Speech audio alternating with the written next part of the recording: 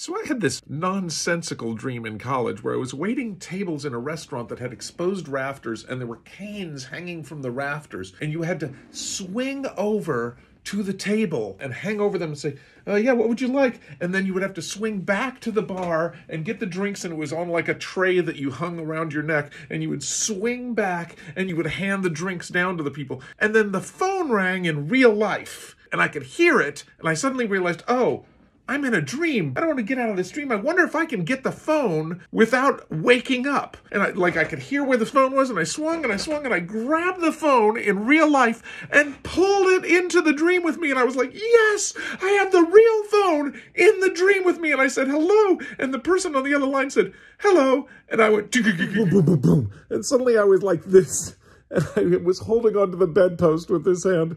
And I was like, oh, I so wanted to have this conversation in my dream.